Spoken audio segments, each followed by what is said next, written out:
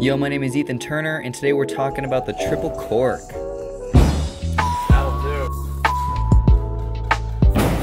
Yep.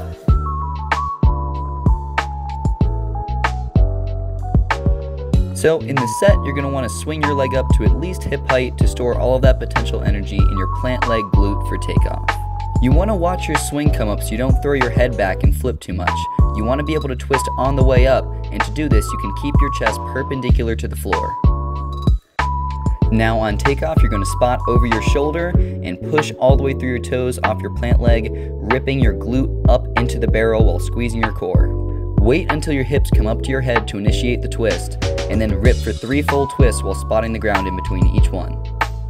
During the twist, point your toes and cross your ankles for max extension and stability on the axis, while maintaining a solid core and glute activation. Make sure to not turn out too early in the set and watch your foot come up to keep your chest and hips squared. It's so key that you keep your chest perpendicular to the ground or leaning even slightly forwards for a more intense blocking angle. This will prevent you from dropping your chest and leaning too far back. Now, as you're coming out of the third twist, find the ground and try and feather your landings by landing on the ball of your feet. This will slowly absorb the momentum, and it's not the impact that will really hurt us, but rather the amount of time over which the force is absorbed. Thank you so much for listening. I hope this helped you with your triple cork.